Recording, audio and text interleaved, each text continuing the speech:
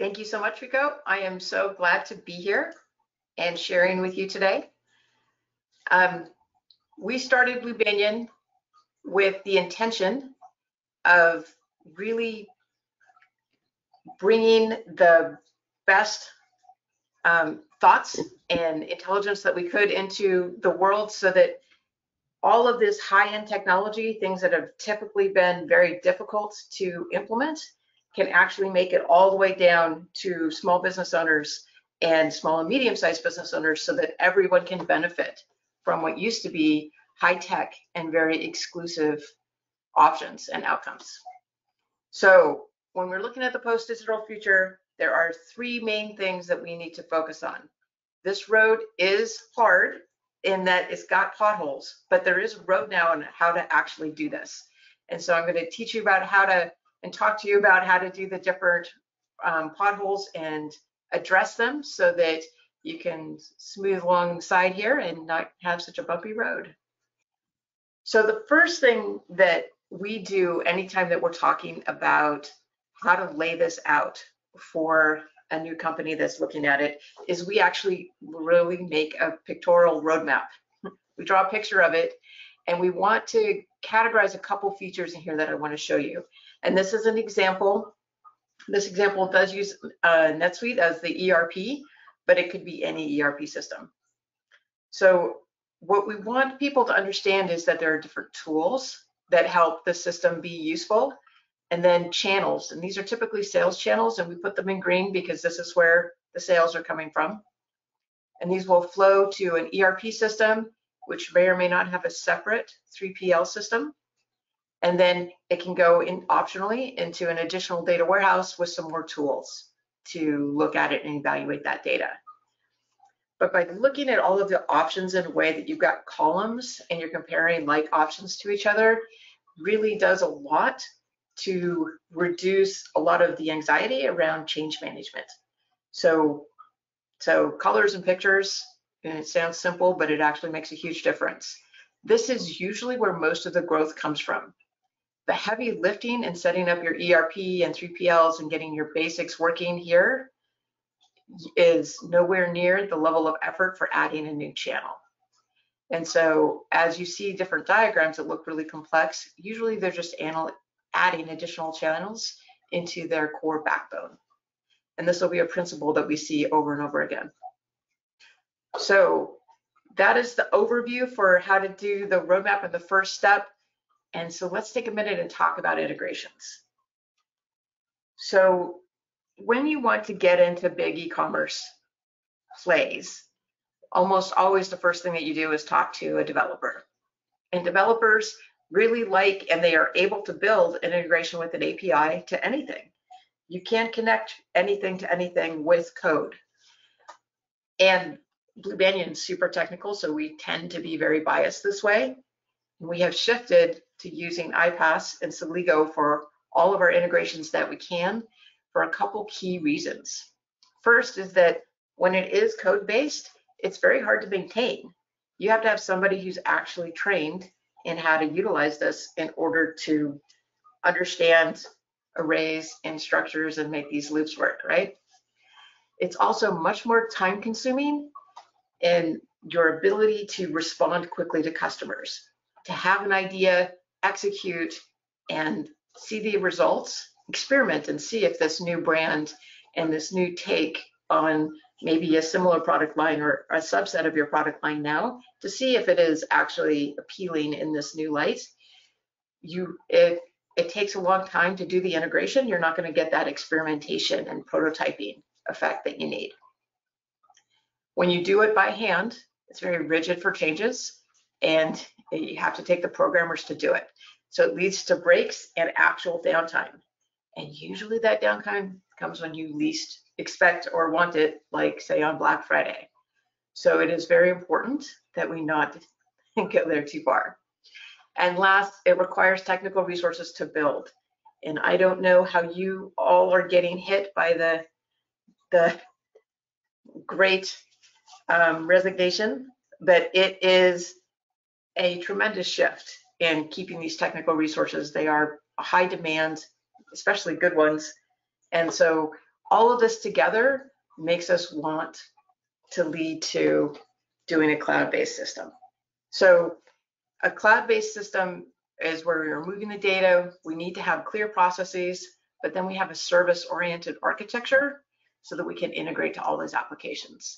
And this sounds technical, but what it ends up providing is that both IT and non-IT people can maintain the systems. As you heard, I'm sure that Melissa, Mike, and Jeff are all power users in their systems, and they're able to make changes and adjustments and manage those independent of needing to involve any kind of vendor or even just any kind of internal service person that they need to have grow their business. That has a huge impact on your adaptability as your business grows. So we do, despite being technical, we do actually all of these integrations through iPaaS now. So the main benefits, you can deploy faster, you can experiment, you can try different things. It's easier to maintain and power users who can surprise you. Sometimes it's an intern and sometimes it's your CFO. You never know exactly who gets into this, but they do have the ability to maintain the flows. And the last big advantage is the single pane of glass. So we use this concept for error management and troubleshooting. You've got one place that you can go and see what has been successful or what exactly hasn't, and you can proactively catch errors, then you actually prevent a cascade of downstream effects. When you just have an error and you can catch it within 30 minutes, it's no big deal. The item flows through, the customer probably doesn't even notice. It flows right on through the warehouse and everything is fine if it got resolved in the same day, usually within a few minutes. But if this kind of, if you've got an item error in a product that had a typo or some special character in it or something that made the flow break, and you don't catch it, and that customer order doesn't actually make it into the system, then you don't know and you sell out the product from underneath of them then when it finally does get recognized and fixed, after they've complained two weeks later, you don't have the product left anymore. You have like this cascade of problematic situations. So having this single pane of glass so that we can train users to check every single day to see what's going on and fix it real time in the same day before it becomes a problem is an absolute game changer. So these are all the reasons why we have this first set to that mindset that we're going to do integrations first. Here's an example of a template that comes and the key flows from a storefront to an ERP. And you'll see that it's actually kind of involved. There's quite a bit of information that you need to get to the storefront and keep in sync with what your back-end accounting is doing. And having this come right out of the box so that it can get implemented in days or a couple weeks instead of months is absolutely amazing. So the next challenge is around the data. So let's take a minute and think about what this data, a whole bunch of the automation, I think in, as we add in AI is gonna help us primarily manage our data issues so that I think as technology people, we all this fantasy that eventually we'll get out of data entry and not need to do that. But it is a long time away. And there are some key things that we do when we set up our data that makes it easy, determines if it's going to be easier or harder to manage. So the main thing, the first thing when we, you know, are talking to a new client about how to do their e-commerce strategy in an automation first perspective is we talk about the item master. The item master is like the central hub of the wheel and everything else connects into it. So everything about your item master will become key to the strength of your business as a whole. We often use the item master to develop this human readable and repeatable information flow for the item for developing a common SKU so that all of the key attributes about that item are clear and can be decoded by someone who is in the know, like an employee or a vendor or someone, a regular customer who's working with you on a regular basis. And having these human readable SKUs it makes all the difference in the world because they can tell you right off the bat if something looks right or wrong, or they can know if they are ordering the thing they really intended to order. And a variety of cues and errors get handled just by having your SKU and your data set up in a way that's human readable and they can tell that you made a difference. Um, this is actually key to setting up how main e-commerce strategies work. And you really still need to follow IT rules, you know, information management rules for how this is set up. One of the key ones is one field, one fact. We need to make sure that every field that you're going to represents only one fact and you're not combining information in any particular way. This often happens with categories where you combine multiple pieces of information and then you're not sure if you should use that category or this one, and there's a lot of subjectivity can enter into the process, and that creates a challenge on an ongoing basis. So you need to have one field, one fact, and complete unique sets. We actually use those like they're terms in a Bible and reference them all the time. They're the main mental models. But when you do that, you're able to get a common nomenclature for exactly which facts you're talking about. So you're always talking apples to apples. And you can set up these templates that eliminate data errors because you know you've got a complete unique set of statuses or you've got a complete unique set of colors that you're going to be using. So setting up this item master is a huge game changer in how you set things up in your data and is the place to spend the time and get it right. Here's an example of someone who's done it well. And I bet everybody on the call knows about as much about deadbolts as I do. But you can see that this is an outline of all of the key selling features of a deadbolt. It's actually the SKU structure itself is inherently educational about what it is that you ought to be looking for and how you would know what is different or better about a specific item. And then you can see the detail and understand how you would lock that in yourself. So this helps customers pick the right thing that they actually need the first time. It helps vendors um, make sure that they're delivering what it is that you need. And it gives everybody, and even this isn't as human readable as some might be.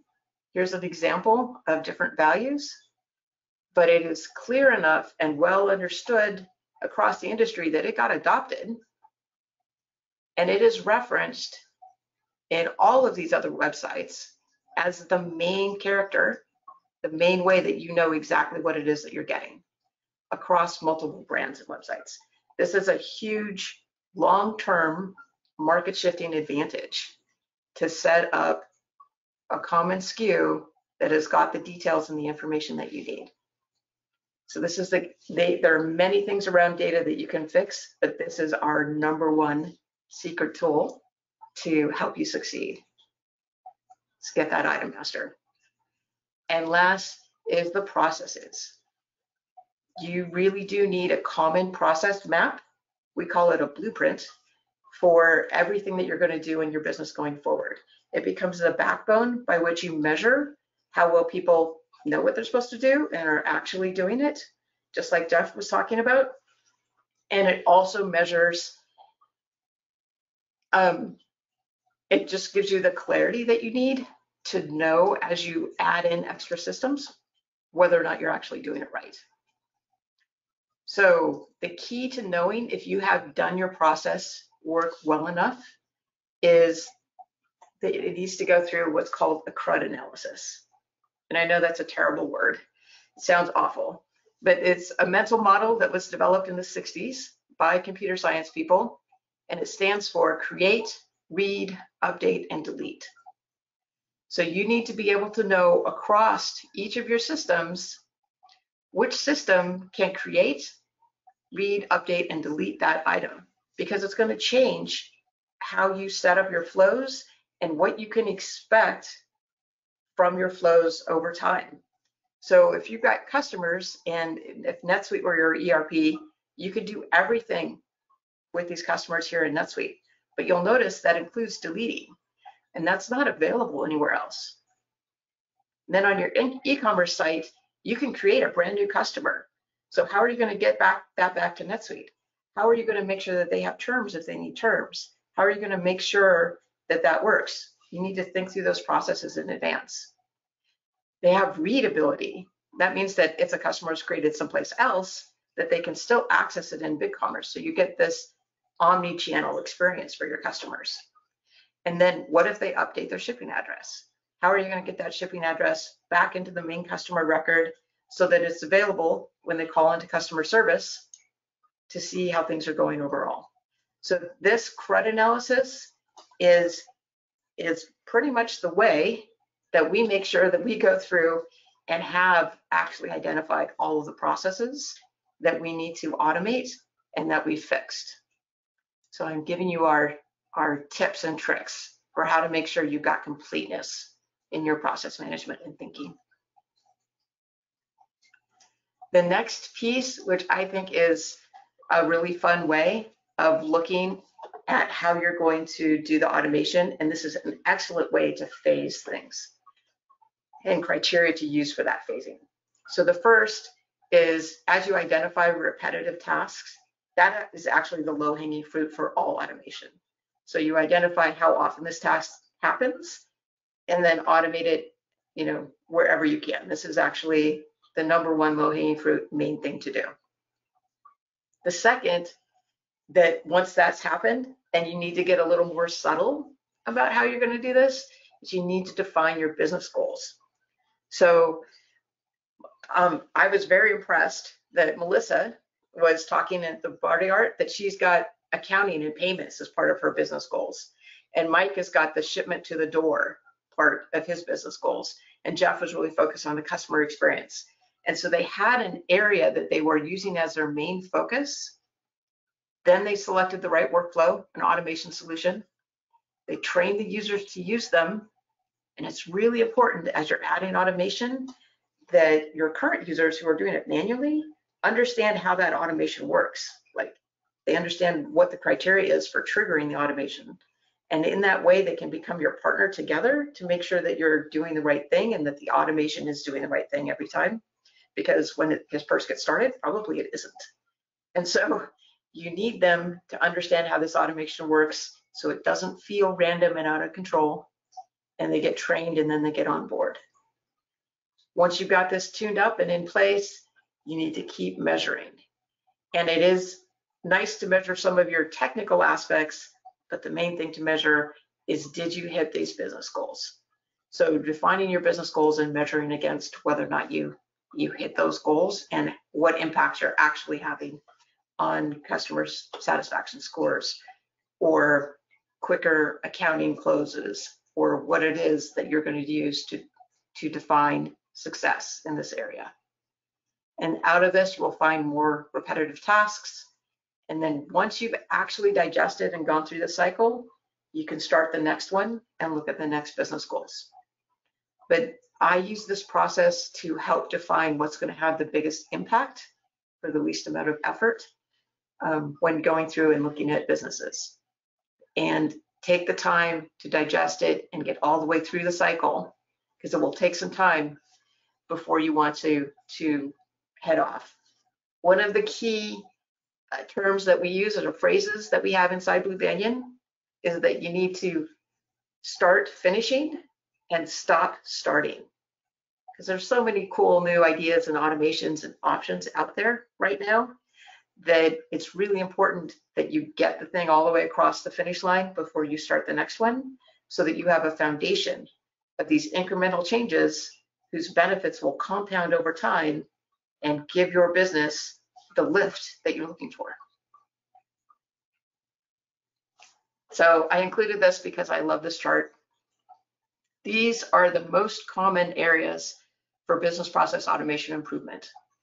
So the first thing of just knowing that you want to do bottlenecks and getting things to process faster is actually a fabulous business goal that then you can get some really creative ideas about how it is that you might um, make things go faster. One of the incidents that came up that I, I found was interesting that was shifted a bias I had as a technology person originally is that I kind of thought that in order to fix high incidence of errors that required rework, this one down here, you had to have all your data perfectly right up front. And that would give you the best, fastest experience as you move through the chain. And sometimes that's right, and sometimes it's wrong. Sometimes if you know enough that you know that as customers in, you know, an urban area, so there will be delivery service and that's sufficient to be able to assign the right kind of delivery truck. You don't need to know everything or have everything confirmed in order to be able to proceed. And having some softer information was one of the ways that we actually eliminated bottlenecks that slowed things down. So I love this chart. Please take a look and see what it is that, that you can um, utilize in your own business circumstance to get these business process automations with the biggest bang for the buck and then actually get them to the finish line and then reevaluate and go forward again. Next, I wanted to show you an example of a blueprint. So here we've got where main focus is actually in BigCommerce and we're interested in the order being placed and then setting the status correctly for the customer experience.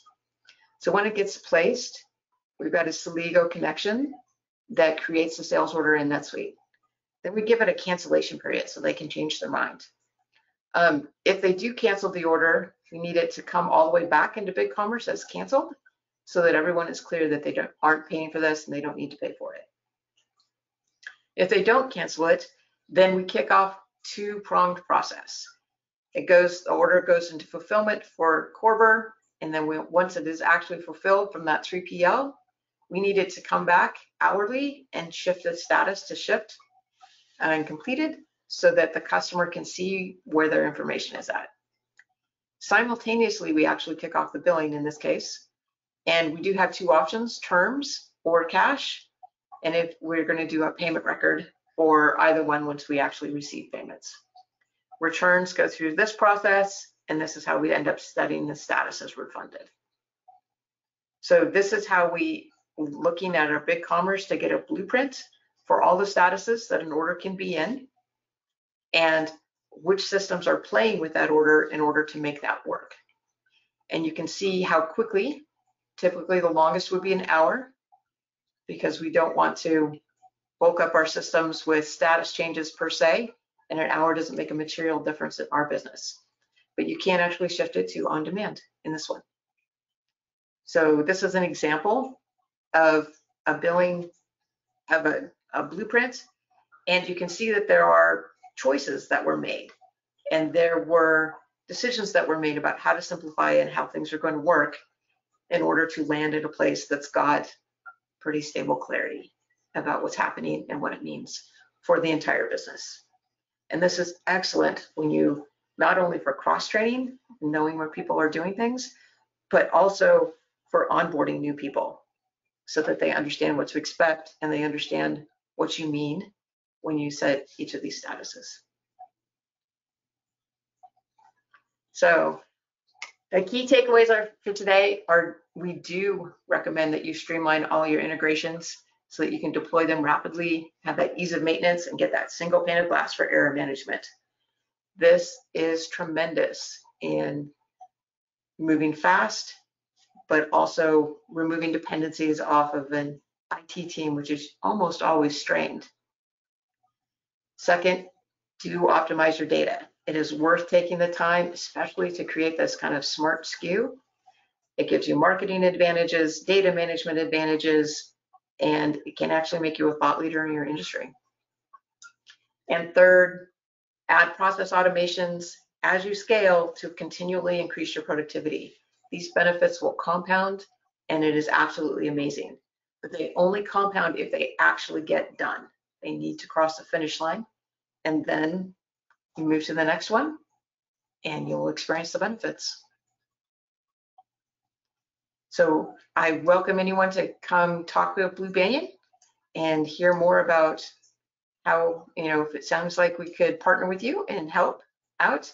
We are um, partner of the year for our micro vertical solution. We do are a Celigo Platinum provider, and we do actually provide our own apps and develop our own technology as well. Thank you. I am wondering, Rico, if there are any questions. There are, um, and hopefully we can turn my camera. Um, there we go. Um, hopefully we can uh, hit one or two here before. There's quite a few questions, uh, but maybe let's try to hit one or two before we move on here. Um, okay, one. Uh, I mean, it's it's great that both IT and non-IT teams can contribute, and that Celigo can supply a mechanism for rapid deployment. But as projects grow in complexity, what strategies exist or a plan for change management? Sometimes you need rigidity. A rogue change in the system that one team thinks is totally fine is conceivably weak, uh, can conceivably wreak havoc, uh, havoc on something else. Yes. So my key solution for this is natural consequences. It's a parenting technique, but it works best if the people who are maintaining the system and changing the system actually experience the consequences of doing something wrong. And that most often happens in accounting, believe it or not. They really care about the items being right because they experience those problems. And so if you first start, if you're non-IT people or an accounting people or somebody who's going to ex experience the effect that's going to hit across the organization. It might have a marketing effect. It might have a fulfillment effect, but you're going to want to hit somebody, the people who you're going to give the keys to the kingdom to, to in order to maintain this, need to be people who are owning the whole system and will actually feel the impact of what it is that they're doing if they get it wrong or they do it too quickly. With that, they will learn and they will be more cautious in the future. It is also quick to reverse. So you want to be careful about not being, you do need to be rigid and have change management man, management, particularly as you get more complex, and you may start to develop some internal IT expertise just for that.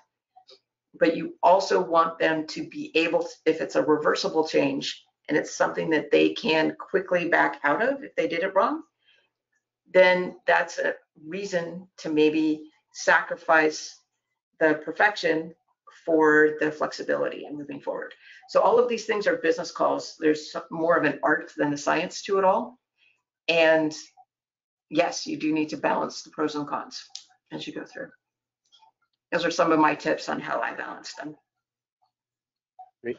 Um, here's another one. I'm using NetSuite ERP. Uh, what more could Celigo enable me, enable me to automate? I heard of managing inventory, shipping, PTO, and more, but that is already handled by NetSuite. So. Right. So managing inventory um, is often managed by NetSuite, so that part is great. The PTO and the hiring with the H, um, if SuitePeople is on there, then you could be handling that through SuitePeople. But if you're not, there's ADP integrations. And we do often have like Five9 and other tools that integrate that will give you activity from HubSpot about who's looking at your your um, sites right now and so who it is that you should call. There's a lot of different extended specialty software around the NetSuite ecosystem that you do want to pull in to give a full view of what's going on in your world. The most, the easiest one to integrate one of them is the HubSpot one to get activity for who's paying attention to you right now, especially if you've got a B2B business and you're going to be calling them up and seeing that's one that I've seen a lot of demand for in that zone. And Celigo helps hook all of these different pieces up. Great. Um, I think we probably should move on. I see people, some people are answering here with suggestions of where where else they've uh, automated uh, search provider, Google Feeds, and stuff like that. Uh, but we, again, will follow up. So um, thank you so much, Jan, and we will hand it off to Mark to close it out. Really appreciate it. Thank you.